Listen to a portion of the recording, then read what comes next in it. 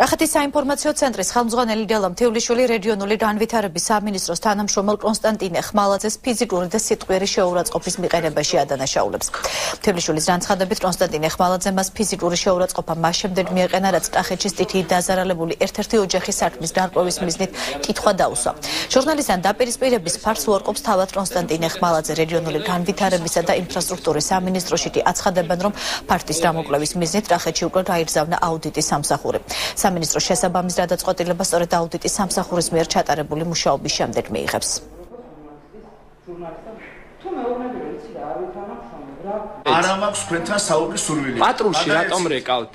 იმიტომ რომ არ გვერდ მაგერებს შეურაცხყოფას. იმ კითხვის დასმამ რომ რატომ არ იყოს ტიქეი დაზარალებული დაზარალებულთა სიაში, გამოიწვია მისი აგრესია და გაღიზიანება, რის შემდეგაც ჯერ ხელი მომკიდა და როცა უთხე რომ ხელი გაეშვა და შვიდად ესაუბრა, ამის შემდეგ უკვე რამდენჯერმე ხელი მკრა და სიტყვიერ შეურაცხყოფის თანხლებით გამომაგიდო დარბაზიდან გარეთ, სადაც კომისიის წევრები მუშაობდნენ. გაწევ გამოწევას და არა ეთიკურ დამოკიდებულებას ადგილი არ ხონი, არ დაფიქსირებ. ინფორმაცია მას თავის კითხვაზე არ აინტერესებდა, იმიტომ რომ კითხვა არ დაუსვია. ამ ინფორმაციას ინფორმაციის შემოსვლიდან 15 წუთში საქმეში ჩაერთო ჩვენი აუდიტის დეპარტამენტი, რომელიც გამგზავრა კახეთში და უნდა მოიკვლიოს ამის გარეშე ვერ მივიღებთ გადაწყვეტილებას.